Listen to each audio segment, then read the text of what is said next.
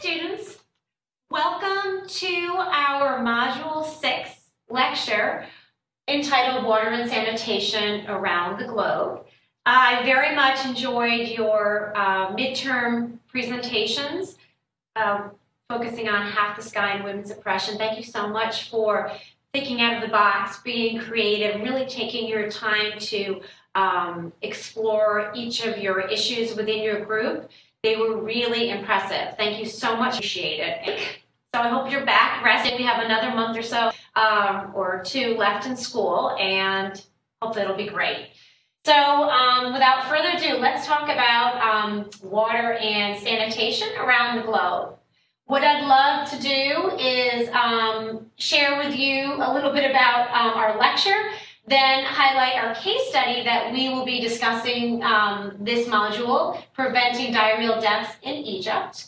Then I'd like to talk to you about your final project. You're coming along, you're doing great. You've completed three of the 10 components. And today we're going to be focusing on uh, your purpose, goals, and objectives, as well as your outcome, your results. And these two components work together. So we'll be doing that towards the end of the presentation. As we, um, as I go through this presentation, I'd love you to think about a couple of things. One, how much water do you, you use every day? How much water is required to produce the things that you rely on each day? How much water uh, was required to make this dress? How much water was required to um, produce an apple? To produce your steak dinner? How much water is required? Have you ever really thought about that? And what if you didn't have water? What if you didn't have clean water? What if you um, didn't have any water at all for yourselves or for your families? What would you do? And what is one of the critical defining separators between developed and developing nations?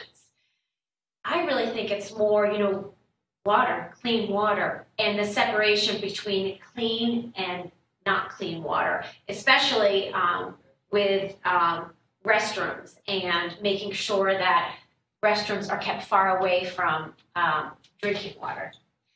Um, also, how is unsafe water related to the spread of disease? Why is it important to promote hand washing? Why do we need to wash our hands?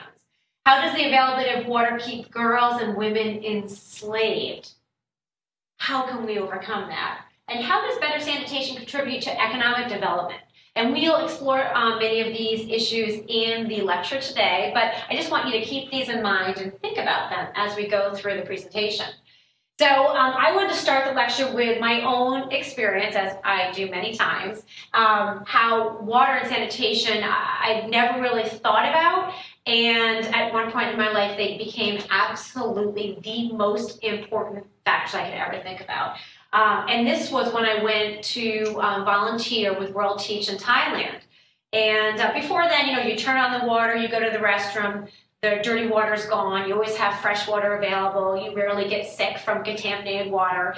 But uh, I remember in my orientation, my orientation leader, who was Thai, said, um, you know, I want to talk to you about bathroom etiquette. And uh, one thing of importance is that um, you're not going to, most likely will not have Western toilets. You'll have Eastern toilets where more, you know, and we have a very international group here, so I'll just go quickly because I'm sure you've all experienced this. But and a more Eastern toilet is, you know, it's uh, flat on the ground and it's got a hole with two places for your feet.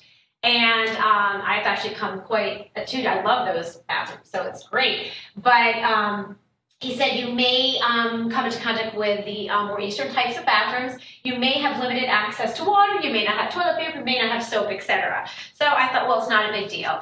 Um, and my first day of school, we had to wear the Thai military uniform for Mondays and Thursdays, which is a very tight khaki outfit that goes long and tight, and it's not very comfortable. And it's got medals and medallions from the Thai government.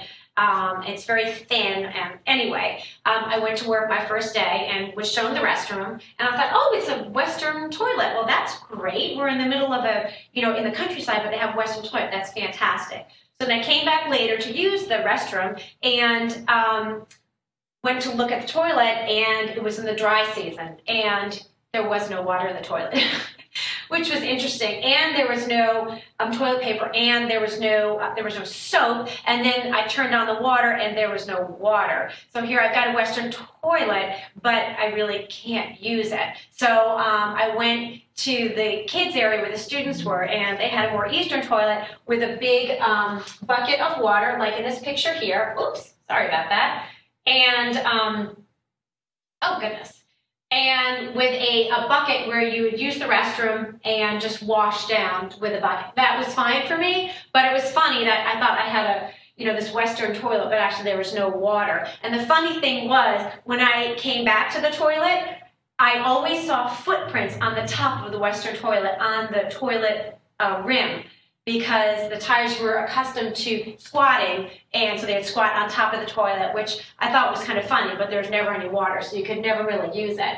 And the other issue I think I um, may have explained to you, I was living with uh, in Thai housing with other teachers, which was great, except I had a roommate who was a little bit more challenging, a Thai roommate, and she loved to follow me around and point out how everything I was doing was against Thai culture, and I was trying so hard, but everything was wrong. So I decided to move out and I lived with Thai college art students who were wonderful, and that's how I learned to speak Thai.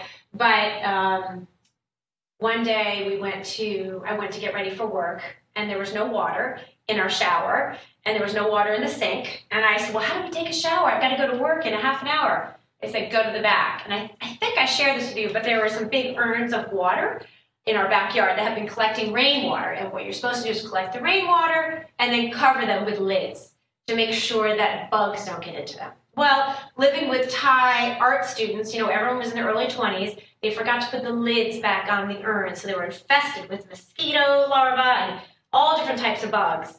And so that's the water I had to use to upnom, as it's called, to shower. So I put on my sarong, went out to the back, upnommed in the water, but then said, where do I brush my teeth? And they said, you use that water. And I had to put my toothbrush into the water, and there were mosquito larvae all over my toothpaste, and I had to push them off my toothpaste and brush my teeth. And I remember just the whole day thinking, I've got mosquito larvae in my mouth, in my hair, swimming around. It was um, it was quite comical. But anyway, so um, water has always been interested, very interesting for me. And the last thing was the location of toilets. I dated a great Thai um, gentleman, and for years, and he, I went to his house in the rural village, and they had a house on stilts, and their bathroom was outside next to a brick kitchen.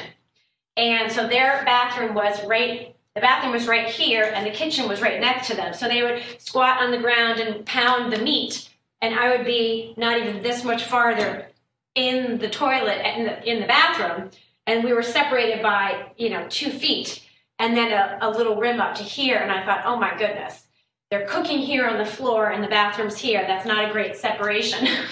So i always thought i would get uh, i might get sick one day. But anyway so I, I loved and then also the dry season one day you have water then for three or four months you have no water. And you have to figure out where you're going to buy water if you have a truck come in etc so anyway i appreciate water every day. I appreciate toilets. I appreciate everything about sanitation now that I've had that experience, and I'm sure many of you have as well. But anyway, that's my own personal experience. So let's keep going with the presentation.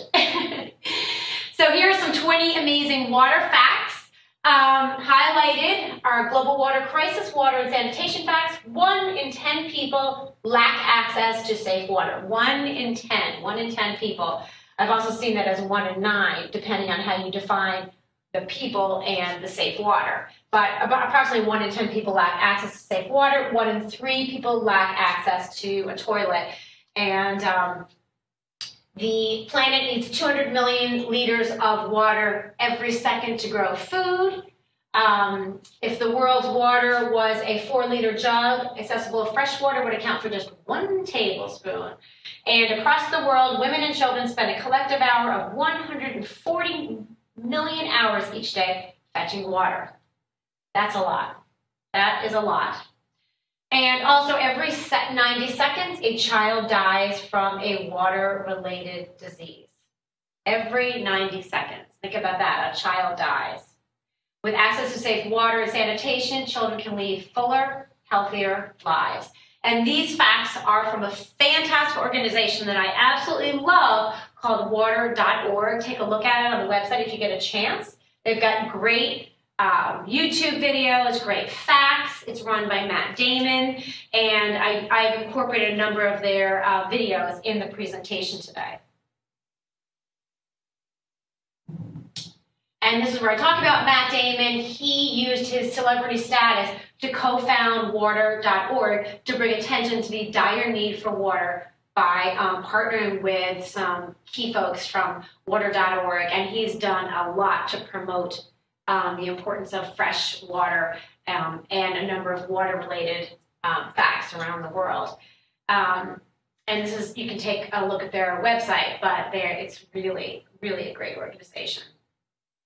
World Water Day is March 22nd, and so I thought this is a relevant lecture to present. We all need to be thinking out water.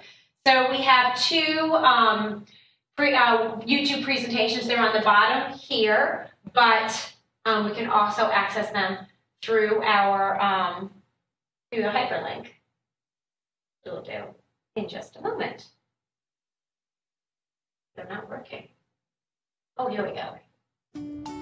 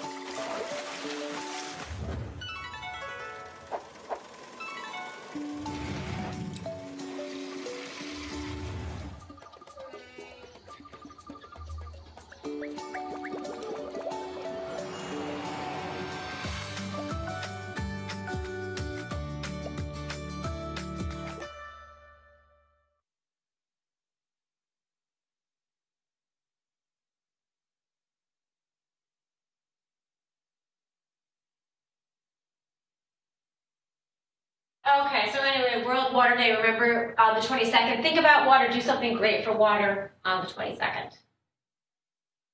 And here's another video. Let me see if this one will work. Ugh.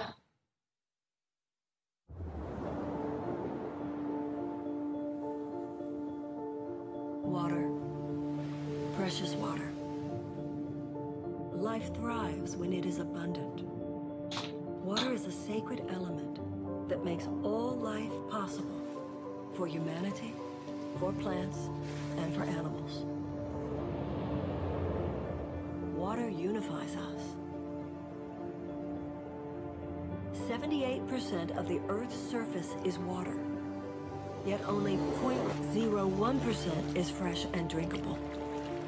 Access to clean water should be a fundamental right, even for those who have no voice with which to express that. Too often, we take this precious resource for granted. We have polluted almost 95% of all fresh water on the planet. Water has become a dumping ground for waste generated by our cities. Right now, at this exact moment, there are 800 million of us who do not have clean drinking water. More people die every year from waterborne illnesses than from war. The good news is, just as water can change course, so can we. We can clean up our water supplies, and we can make clean water accessible to everyone. We can realize that water is alive, and loving water changes our relationship to it. Water is one body, as it changes from rain to river to ocean, and we are part of this body. Together, we can make all water sacred again. On Sunday, March 22nd, World Water Day, we ask you to love water with us. Millions of us will unify in a global synchronized water ceremony and take action together. Last year, 309 communities around the world meditated, prayed, and held ceremony at sacred sources of water in their region. Join the wave of intention moving across our planet and organize an event in your city. This year, we also invite you to collaborate with local water organizations to create lasting change. And tune in online at 6 p.m. Pacific Standard Time for the Global Meditation and live broadcast from the banks of the Ganges River in India. Go to upliftconnect.com to sign up for the global broadcast. When water flows together, it is powerful, capable of creating great change. We are water, and together we create change. Visit unify.org to learn more.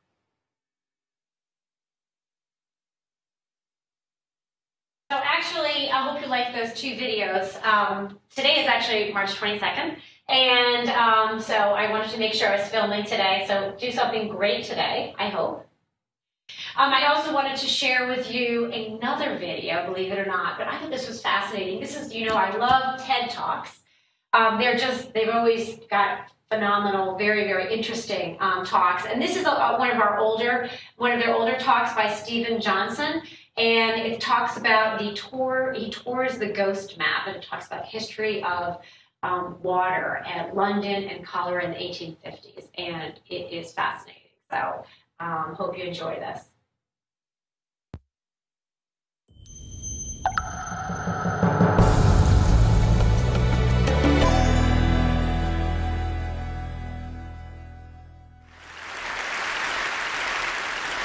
If you haven't ordered yet, um, I generally find the rigatoni with the spicy uh, tomato sauce goes best with diseases of the uh, small intestine. Uh, so sorry, it just feels like I should be doing stand up up here because of this setting. No, I, I, what I want to do is, is take you back uh, to 1854 in London uh, for the next few minutes. And, and tell the story uh, in brief of this, of this outbreak, um, which in many ways I think, helped create the world that we live in today, and, and, and particularly the kind of city that we live in today. This period in, in 1854, in, in, in, the you know, middle part of the 19th century in London's history, is incredibly interesting um, for a number of reasons, but I think the most important one is that London was a city of two and a half million people, and it was the largest city that had that on, on, the, on the face of the planet at that point, but it was also the largest city that had ever been built. And so the Victorians were trying to kind of live through and, and simultaneously invent a whole new scale of living, the scale of living that we you know, now call metropolitan living. Um, and it was, in many ways, at this point in the mid 1850s, a complete disaster. Um, they were basically a city living with a modern kind of industrial metropolis with an Elizabethan public infrastructure. Um, so people, for instance, just to gross you out for a second, uh, had, had cesspools of human waste in their basement, uh, like a foot to two feet deep. Um, and they would just kind of throw the buckets down there uh, and hope that it would somehow go away. And of course, it never really would go away. Um, and all of this stuff basically had, had accumulated to the point where the city was in, incredibly offensive to just walk around in. It was an amazingly smelly city, um, not just because of the cesspools, but also the, the, sheer number of livestock in the city would shock people, not just the horses, but people had cows in their attics that they would use for milk that they would kind of hoist up there and keep them in the attic until, until literally their milk went out and they died, and then they would kind of drag them off. Uh, to the you know the bone boilers down the street. Um, so uh, you would just walk around London at this point and just be overwhelmed with this with, with this stench. And what ended up happening is that an entire kind of emerging public health system became convinced that it was the smell that was that was killing everybody, that was creating these diseases that would kind of wipe through the city every three or four years. And cholera was really the great killer of this period. It arrived in London in 1832, and every four or five years, another epidemic would take 10,000, 20,000 people in, in London and, and throughout the UK. And so the authorities became convinced that this, this smell was this problem. We had to get rid of the smell. Um, and so, in fact, they, they concocted a couple of early, you know, kind of founding public health interventions in the system of the city, um, one of which was called the Nuisances Act, which they got everybody, as far as they could, to empty out their cesspools and uh, just pour all that waste into the river because if we get it out of the streets, it'll smell much better. And oh, right, we drink from the river. Um, so what ended up happening actually is, is they ended up increasing the outbreaks of cholera because, as we now know, cholera is actually in the water. It's a waterborne disease, not something that's in the air. It's not something you smell or inhale. It's something you ingest. And so the, one of the founding moments of kind of public health in, in the 19th century effectively poisoned the water supply of London much more effectively than any modern day bioterrorist could have ever dreamed of doing. So at, at, this, this was kind of the state of London in 1854. And in, in the middle of all this kind of carnage and uh, uh, offensive conditions, and, and in the midst of all this kind of scientific confusion about what was actually killing people, there was a very uh, you know, talented, classic 19th century uh, multidisciplinarian named John Snow, who was a local doctor in, in Soho in London, who had been arguing for about four or five years that cholera was in fact a waterborne disease. And had basically convinced nobody of this. Um, the public health authorities had largely ignored what he had to say. And he'd made the case in a number of papers and done a number of studies, um, but nothing had really kind of stuck. And part of the what's so interesting about this story to me is is that in some ways it's a great case study in how cultural change happens, how a good idea eventually comes to win out over over much worse ideas. Um, and Snow labored for a long time with this great insight that everybody kind of ignored. And then on one day August 28th of, of 1854, a young child, a five-month-old girl whose, whose first name we don't know, we know her only as Baby Lewis, um, somehow contracted cholera, came down with cholera at 40 Broad Street. You can't really see it in this, in this map, but this is, this is the map that becomes the central kind of focus in, in, the second half of my book. So in the middle of Soho, in this working class neighborhood, this little girl becomes sick.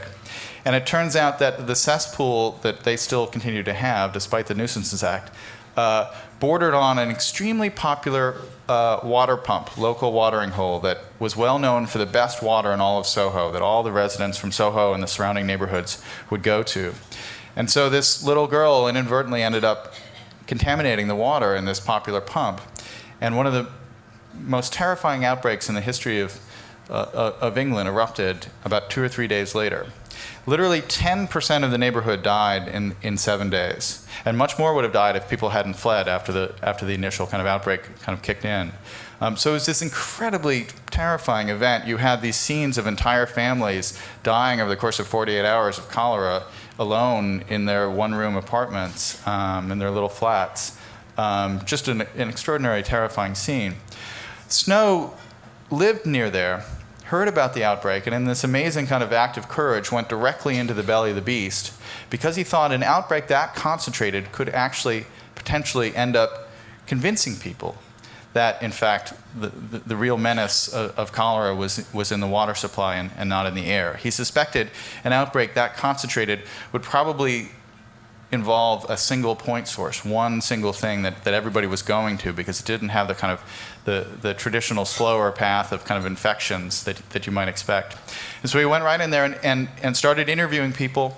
He eventually enlisted the, the help kind of, of, of this amazing other figure who's kind of the other protagonist of the book, this guy, Henry Whitehead, who was a local minister, who was not at all a man of science, but was incredibly socially connected. He knew everybody in the neighborhood. And he managed to track down, Whitehead did, many of the cases of people who had drunk water from the pump or who hadn't drunk water from the pump. And eventually, Snow made a, a map of the outbreak. He, he found increasingly that people who drank from the pump were getting sick, people who hadn't drank from the pump were not getting sick. And he thought about kind of representing that as a kind of a table of statistics of people living in different neighborhoods, people who hadn't, you know, percentages of people who hadn't. But eventually he hit upon the idea that what he needed was something that you could see, something that would take, in a sense, a higher level view of all this activity that had been happening in the neighborhood. And so he created this, this map, um, which basically ended up representing all the deaths in the neighborhoods as black bars at each address. And you can see in this map the pump right at the center of it. You can see that one of the residents down the way had about 15 people dead. Um, and as you, the map is actually a little bit bigger. As you get further and further away from the pump, the, the deaths begin to uh, grow less and less frequent. And so you can see this kind of something poisonous kind of emanating out of this pump that you could see in a glance. And so, with the help of this map and with the help of kind of more kind of evangelizing that he did over the, the next few years and that Whitehead did, eventually, actually, the authorities slowly started to come around. It took much longer than sometimes uh, we like to think in this story. But by 1866, when the next big cholera outbreak came to London, the authorities had been convinced, in, in part because of this story, in part because of this map, um, that in fact the water was the problem. And they had already started building the sewers in London. And they immediately went to this outbreak and they told everybody to start boiling their water. And that was the last time that London has seen a cholera outbreak since. So part of this story, I think, well, it's a terrifying story, it's a very dark story, and it's a story that continues on in many of the developing cities of the, the world. It's also a story really that is fundamentally optimistic, which is to say that it's possible to solve these problems if we listen to reason, if we listen to the kind of wisdom of these kinds of maps, if we listen to people like Snow and Whitehead, if we listen to the locals who understand what's going on in, in these kinds of situations. And what it ended up doing is making the idea of large scale metropolitan living a sustainable one. When people were looking at 10% of their neighborhoods dying in the space of seven days, there was a, a, widespread consensus that this couldn't go on, that people weren't meant to live in cities of two and a half million people. But because of what Snow did, because of this map, because of the whole series of kind of reforms that happened in the wake of this map, we now take for granted that cities of 10 million people, cities like this one, are in fact sustainable things. We don't worry that New York City is going to collapse in on itself quite the way that you know, Rome did and, and be 10% of its size in 100 years or 200 years. And so that, in a, in a way, is the ultimate legacy of this map. It's, it's, a, it's a map of deaths that ended up creating a whole new way of life, the life that, that we're enjoying here today. Thank you very much.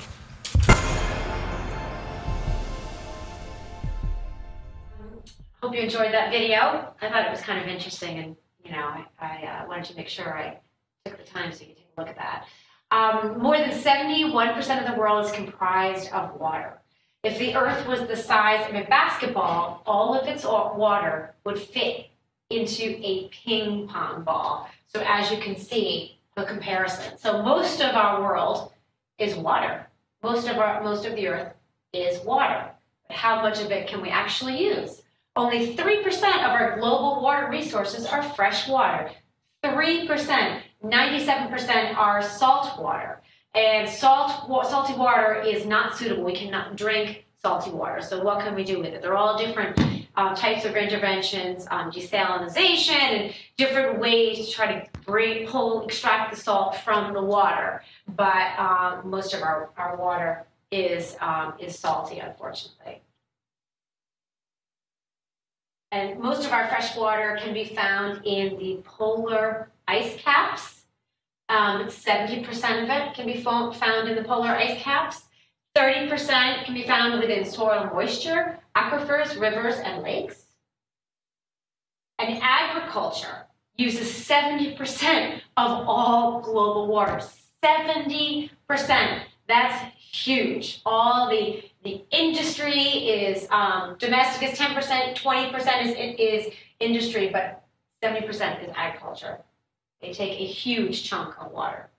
And war, our world is getting drier and drier and drier. And this is from 1980 to 200 to 2015. I tried to find an updated um, map, but I couldn't find one.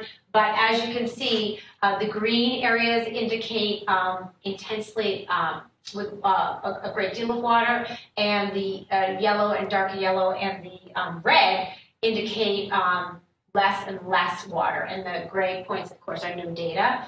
And you can see in many areas that just don't have data, like in um, like in Africa. But you can see more and more red. It's getting drier and drier. So we got to think about our water usage. Sorry about that.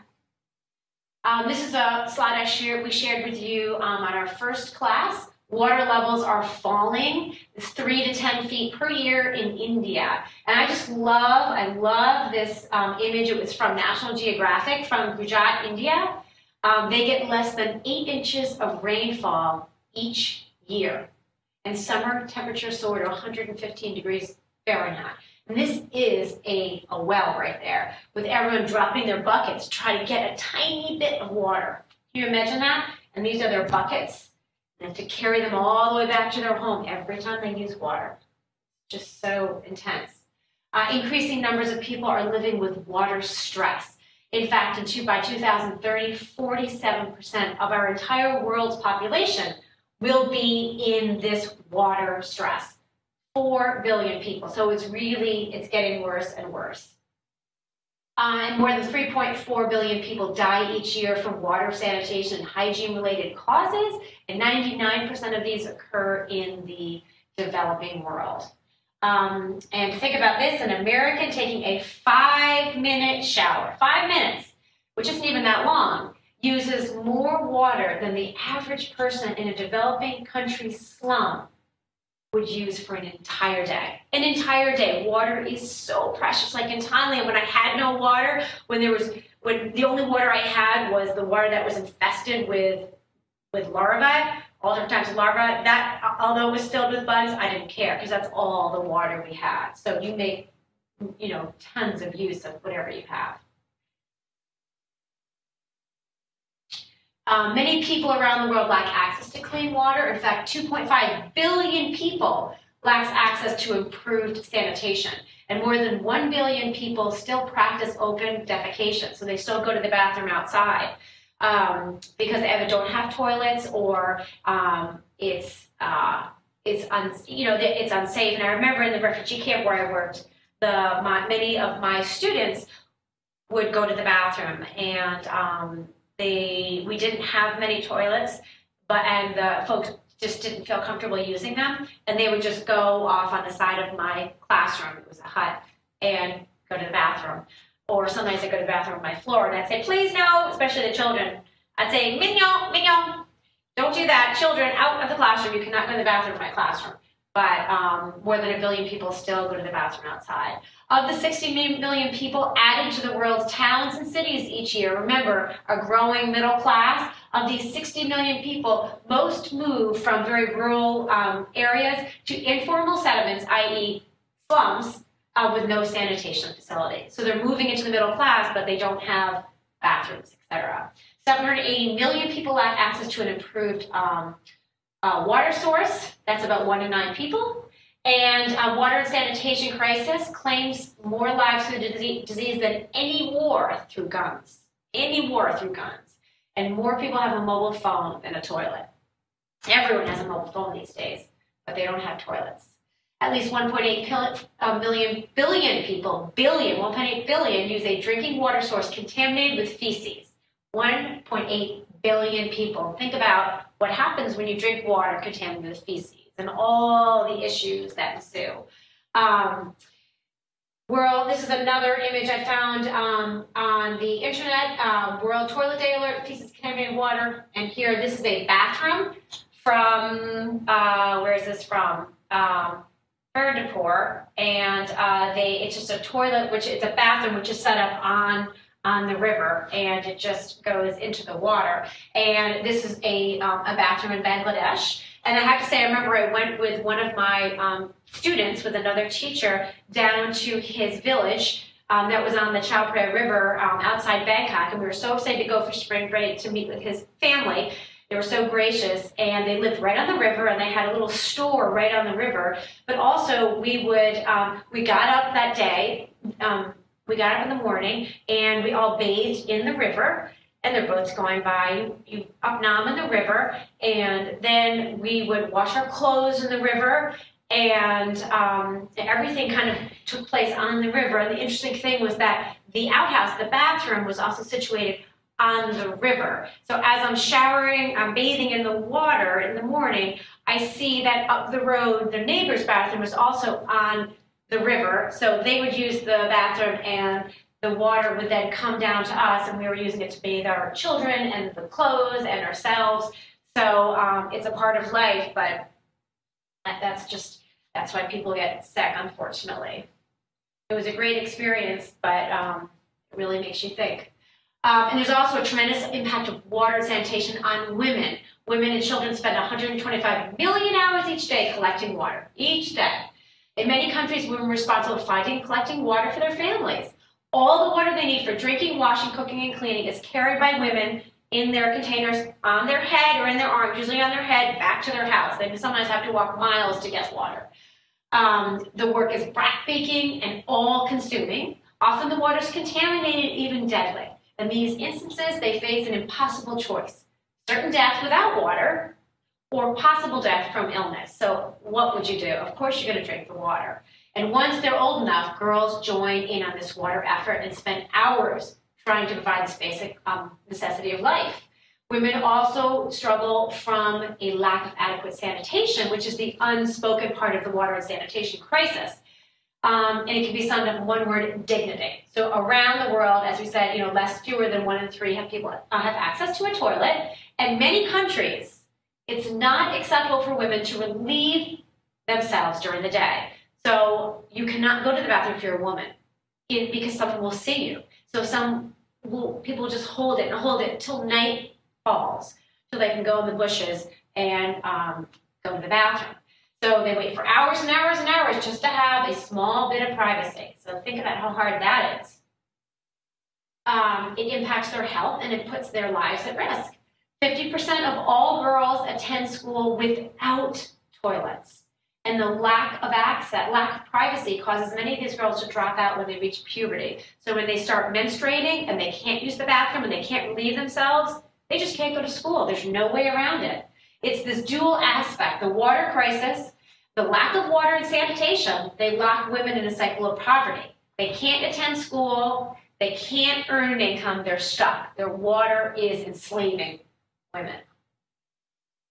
And also, you know, as I noted, it impacts the girls that can't go to school. Um, and here are some children here. They um, can't go to school because they're responsible for water.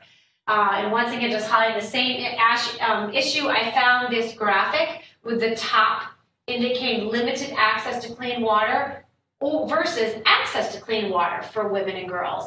So on the top, limited access. A mother and her unborn child are subject to dehydration and malnourishment during pregnancy, and both may suffer from carrying heavy loads of water long distances. A mother risks her life in labor. She and her child also face a higher risk of infection due to unsanitary conditions. Um, a young girl is likely to be chronically hungry and thirsty. Um, she must help her water mother collect water up to eight hours a day, which leaves no time for school. A young woman may drop out of school at puberty because there's no adequate sanitation facilities available, or by first forced to leave by her family who need her to help carry water. And for each year of school she missed, a woman lost 10 to 20% of her future potential earning income. The less education a girl has, the more likely she is to marry and against her will and have more children. That's without water. And then if you have more water, if you do have access water, how that changes a woman's life. From pregnancy to birth, childhood, adolescence to adulthood. They're healthy and educated. A woman can pursue further educational, personal, educational, personal, professional goals as desired. If and when she decides to have children, she's less likely to die in childbirth or contract HIV/AIDS, and her children are more likely to survive. So I, I love this graphic, so I wanted to share that with you. Um, and another graphic on children in general. Diarrheal disease is the second leading cause of death of children under five. And it's, sorry, it's preventable and treatable. So it's the second leading cause of death for children under five. And it's a shame because it is preventable. Every 20 seconds, a child under five will die from a preventable waterborne illness. It's more than HIV, AIDS, malaria, and TB combined. Lack of access to clean water and sanitation kills children at a rate equivalent of a jumbo jet crashing every four hours. 443 million school days are lost each year due to water-related illness. And here's our jet taking off, kills more, chil more children than a jet. And this is a map we've um, seen before. It's deaths attributed to water, sanitation, dehydration for children under five. 50% um, of malnutrition is related to repeated diarrhea or intestinal nematode infections as a result of unclean water, clean sanitation, um, unclean water, poor sanitation or hygiene. 1.8 million die from diarrheal disease. 90% of children are five, uh, mostly developing countries. Just reiterating the same, same point. Uh, and then I just wanted to highlight and share with you some waterborne diseases associated with unclean water. And I know you've all studied these in your public health classes in the past. Um, they're caused by pathogenic microbes spread in the water, the contaminated water, and many times they cause um, diarrhea. 88% um, of diarrheal cases worldwide are linked to unsafe water, inadequate sanitation, or insufficient hygiene.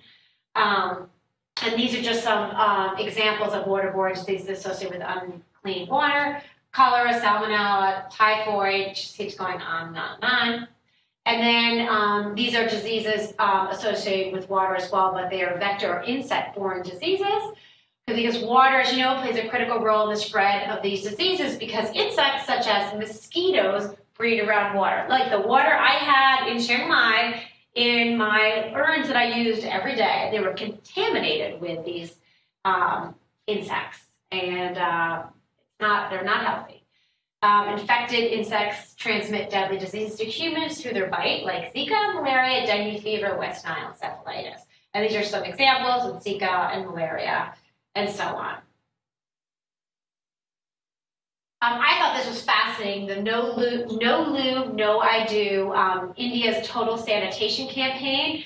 And um, India has been working for um, over a decade to try to increase um, the population using toilets. And there's been a big resistance to using toilets. Um, they'd rather go outside. There are all these different reasons, but one public health campaign they increased was the No Loo I Do, trying to encourage women to um, make sure that their potential spouse has a toilet. Um, and a, you know, the Bollywood, which is like the Indian form, um, Hollywood, a famous actress, Vidya Balan, she's spreading the national TV campaign sponsored by the government. Um, and she plays, she kind of acts, she plays, um, play, plays an educated villager who praises another villager for leaving her husband's home, which lacked an indoor latrine, and returning to her parents' house. So they're trying to push to encourage educated young women to demand that their, their future husbands have a toilet. This was from the um, Huffington Post. Um, clean, safe water is very, very expensive. This is um, a slum in Africa where they sell water, and I've seen that many times all around Southeast Asia. You can buy water um, by the bag. Um, as I, as we were discussing the beginning of the presentation, I asked you to think about the true water, water cost of food and produced um, items because it's often hidden. A glass of milk requires 200 liters of water to produce. A cup of coffee, 140 liters of water. A slice of bread is 40. Um, an egg, one egg requires 135 liters of water. And a hamburger, a hamburger requires 2,400 uh, liters of water to produce. And we discussed this in the first uh, lecture, but I wanted to bring it back again just to, uh, to reiterate. And here I thought this was interesting. It, it, takes 10 liters of water to make one, one sheet of paper, one sheet of water, one sheet of paper, excuse me, and to make a pair of jeans, it requires 10,855 liters of water to make one pair of jeans, just one. That's tremendous.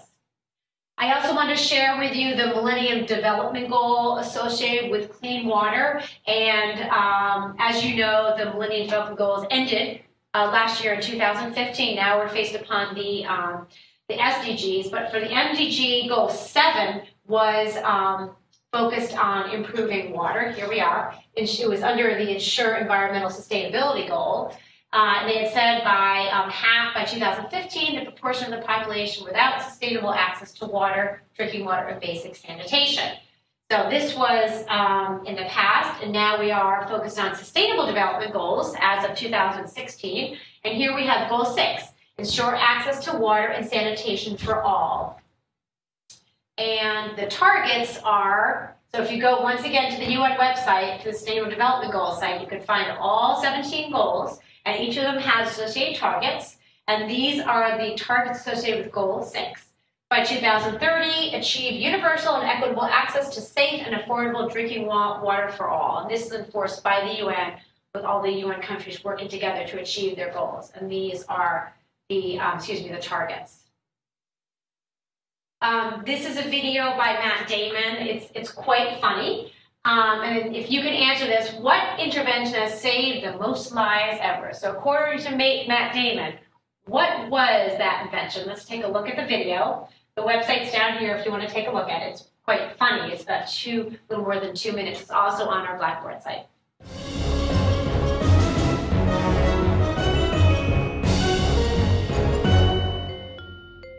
Quick, what invention saved the most lives in human history? Uh, penicillin? Nope.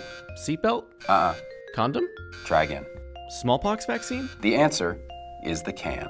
The John, the porcelain throne, the bog, the foreign office, the Thomas Crapper. That's right, the toilet. Whatever you choose to call it, the toilet not only provides a tranquil escape from nagging bosses, spouses, and children, it's also a fast and sanitary way to dispose of waste, separate from the water we drink and bathe in. Hey, buddy, how about a courtesy flush? But in most of the world, toilets are still a luxury. In fact, more people have cell phones than toilets. Oh. One billion people, about 20% of the world's population, defecate in the open. In rural areas, the number jumps to one in three. And it's not because they're free spirits or enjoy a gentle breeze on the backside. Without toilets, human waste and bacteria seep into the water supply, which makes people sick, especially kids. Everyone knows you don't take a Nixon where you eat. Well, you shouldn't take one where you drink either. Unfortunately, millions of people don't have a choice. Half of the world's hospital beds are occupied by patients with water related diseases, such as diarrhea and intestinal infection. These diseases kill 10,000 people a day, nearly all of whom are in the developing world. In fact, water and sanitation problems claim more lives than guns do in wars. And yes, death by diarrhea is as pleasant as it sounds. But nearly three quarters of the earth is covered in water, so what's the big deal? Why is a clean source of drinking water so hard to come by? For starters, 97% of the Earth's water is salt water, leaving only 3% to bathe in and drink, and only 8% of that is unpolluted. On average, people in the developing world walk four miles a day for clean water. These people are almost always women. Imagine waiting in line at the DMV every day of your life. Transporting fresh water to populated areas and keeping it clean is expensive. One in nine people lack access to safe water, double the population of the U.S. The good news is that much of this disease, dehydration, and diarrhea is preventable. Organizations like Water.org are dedicated to solving this crisis, hence the .org. But they need funds. So the next time you're drinking fancy bottled water from the South Pacific or moving your stocks while moving your bowels, take a moment to consider that the water six inches beneath your butt is cleaner than the drinking water of one billion of your neighbors. So celebrate your can because you can. And would it kill you to donate a few bucks and maybe light a match? That was a funny video. Um, I also want to share with you some instant, uh, interesting data I found from the World Economic Forum. On one of their seri- uh, one of their recent surveys, they listed water crises as the largest global risk in terms of potential impact. So the Global Risk Perception Survey. So this is data that were collected from 2014, um, from July through September of 2014, among World Economic Forum multitask communities of leaders from business, government, academia, um, non-government, inter- international organizations. So a number of real key thought leaders around the world were asked about what the biggest risks were. And here are the websites and the publications associated with these data if you want to take a look at it. But um, it's interesting because um, this is the global risk landscape that pertains to one of the questions from the survey. And they found water crisis. What's with this? Goodness, this website. Um, as you can see, it is the most, it was the big, one of the biggest risks. Um, this is the likelihood and the impact of the disaster associated with water crises. And also we have um, the global risk interconnected map. Once again, data gleaned from this survey from key thought leaders around the world. And they identified water crises as another big issue. You can see it's kind of like the eight bubbles we had on um, our first lecture. You know, climate change, um, man-made catastrophes, spread of infectious diseases, migration, all coming together, and water crises are, are right there in the middle, having huge impact.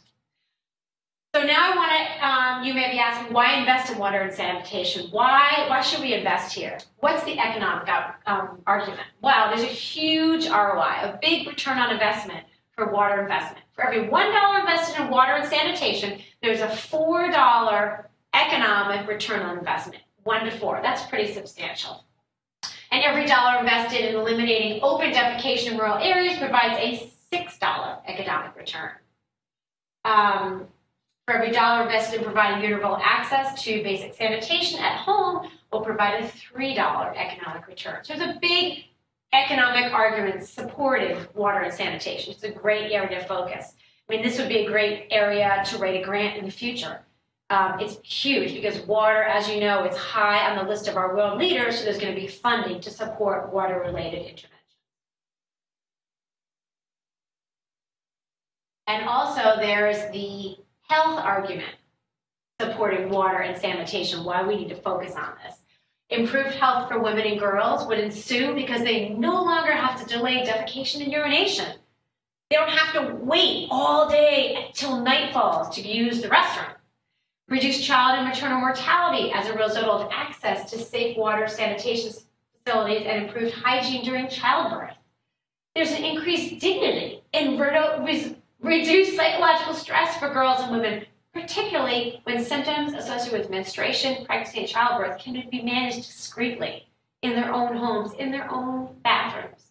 There's reduced physical injury from the constant lifting and then carrying heavy loads of water on their heads, on their backs, and reduced risk of rape, sexual assault and increased safety as women and girls don't have to go to very remote, dark, dangerous places to defecate or to fetch water during the night. I read an article um, recently about an old woman who was blind and she would have to wait to go to the bathroom till it was very in Africa till it was dark and she would have to wait for a friend to come to take her out and how scared she was and all the health problems that were ensuing because she would hold and not go to the bathroom until her friend came until it was dark. Mean, it's so, so sad, so sad.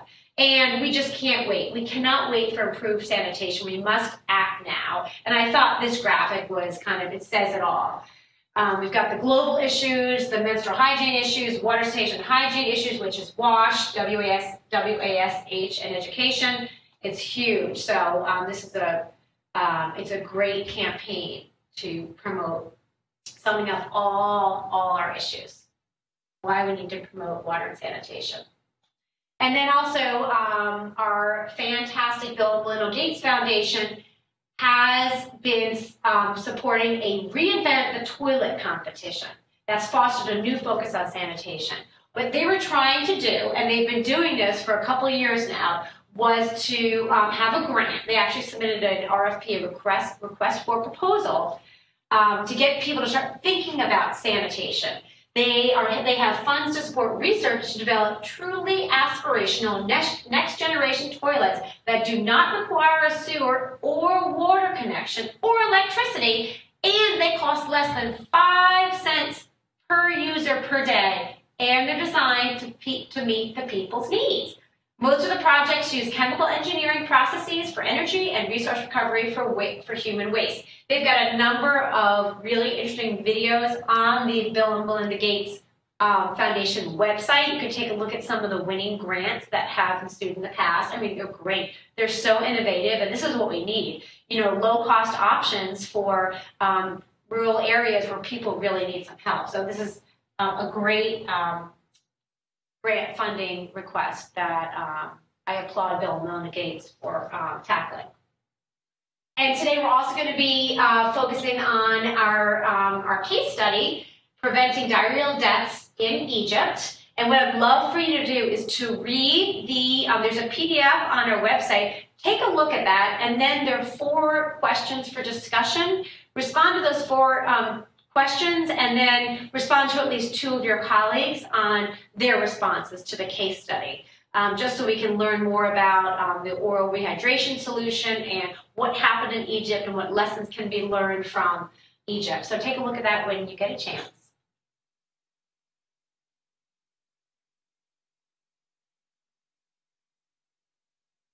And now I'd like to discuss with you the final project program components we, as I've mentioned, we have completed three of the 10 components. And for this module, we will focus on our, um, and here we are, three that we've done. We've done the literature review, the needs assessment, and the target population.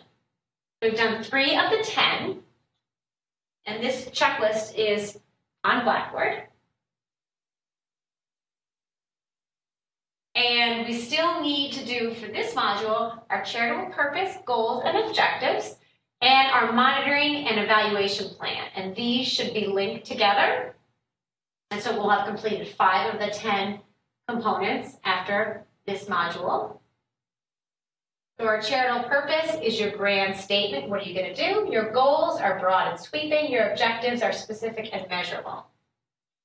And the monitoring evaluation plan should be linked to the goals and objectives. They must be appropriate and measurable. Let's take a look at these. Charitable purpose. This is the actual grant application that's available on Blackboard as well, or I can, if you want, I can email it to you if you can't find it. But one of the first questions is, what is your charitable purpose? And for many people who apply for grants, you have your own 501c3, your own nonprofit organization. Um, if you don't, maybe you're partnering with a 501c3 who might be doing something similar in, in nature, and maybe they're more established, maybe they have more funding, maybe they have more staff, more resources, etc. But what I want you to do and what they want you to do is figure out what is the charitable purpose of your organization. So if you're going to create, for the purposes of this project, you can say you're going to create your own 501c3 if you want. Um, and so come up with what is your purpose? What are you going to do? Um, so as I know, mentioned, to be registered as a charity, your organization must have a charitable purpose or purposes. So your 501c3, your not-for-profit organization has to do something. Why are you forming? Why are you incorporating yourself as a 501c3? What's your big, broad purpose? Um, it's basically what your organization has been set up to achieve. It's also referred to as the organization's mission. Many of you have heard mission. Um, Bill and Melinda Gates on this grant call it the purpose, you can call it the mission, but it's basically the same thing. And this is an example I found. It's very long and lengthy, but I just want to give you one example that's actually been out there. Um, the prevention or relief of poverty of young people living in Greater London who are socially excluded, in particular by providing grants to provide them with an opportunity to build capacity by establishing and growing a business to relieve their needs and help them to integrate into society. This is an example of a 501c3 from London, and this is their purpose. But there are many different purposes, and I'd be happy to brainstorm with you on your organization's purpose. Um, a charitable purpose is the reason why a charity has been set up and what its activities work towards achieving. What outcomes your charity set up to achieve, oh, I'm sorry, how it will achieve the outcomes, who will benefit from the outcomes, where the benefits extend to. So, for instance, advancing the health, education, religion, culture, or social or public welfare, or promoting or protecting human rights or any purpose beneficial to the public. Your purpose needs to be clear and easy for people outside your outside the organization to understand. So you can have a one sentence purpose to combat HIV/AIDS in a certain, certain area or whatever you you would like to do. That's for your grant for this uh, for the purpose. Here are some examples from students in the past to improve the health of, this is the, um, my one student, Carly, who did the refugee website project, to improve the health of incoming refugees in the Jacksonville area by, by providing key information pivotal to maneuvering through the local healthcare system. And her sub goal, this will improve the health of the Jacksonville community overall and reduce healthcare costs in the area through interactive tools and education for the refugee population. Another example. Oh, sorry, I'll show you some more examples in a moment. Let me just go through the goals and objectives. And this is the from the goals and objectives checklist, which is on Blackboard as well. So a goal, what is a goal? So we've got the, the, the purpose or the mission, then we have the goals, then we have the objectives. We talked about the purpose. The goals, basically they're future event toward which a committed endeavor is directed. And what are your objectives? They're concrete steps taken in pursuit of that goal. The goals are encompassing, they're realistic, they're clearly stated, they provide a direction for our program. Um, they're not measurable. That's important. They're not measurable. They're not time bound. But objectives, on the other hand, are, and they must be SMART. And I don't know if you've heard this in the past, but SMART objectives are S specific, M measurable, A attainable, attainable, R relevant, and T time bound. So specific, you're specific to what you're going to be doing. They're measurable, so you have date, you're going to achieve your goal by what date. They're attainable, so they have to be, you have to be able to achieve your objectives, and they're relevant, they're important, they matter. And they're time bound. So when are you going to do it? Is it six months? Is it a year? Is it um, two years? When will you achieve your objectives? They must be smart. Um, and some more examples. So we have our purpose, our goals, and our objectives. Our objectives, some examples of language, increase in awareness, increase in knowledge, change in attitudes or behaviors, development of a health skill, increased access, reduced risk, risk improved health status, um, and then elements of an objective. So this is just some more ideas on how to actually write them. And um, and an objective, this is another scenario of how to write an objective. I, I'm presenting this, it's kind of going on and on and on. But you have the outcome to achieve, what are you going to do? Your target, who are you going to do it to? Condition, when you're going to do it. Your criterion, how much you're going to, how much you're going to do it. And then equals a well-written objective. So they have all these different pieces that come together to be smart. It's another way of saying that objectives need to be smart. Um, this is from our Bill and Melinda, it's the application again, the grant application. This was our table of contents. We talked about childhood purpose. Um, we're not going to do the executive summary, that's going to be the last piece. Our context is like the literature review and the needs assessment. And then we have the framework, which is composed of our goals, objectives, and our results. And this is the table right here that we're going to be focusing on. And this is our checklist for, this is like the goals section, the evaluation plan. Um, make sure that you've described how you plan to evaluate the success of your program. You've decided what you want to um, assess.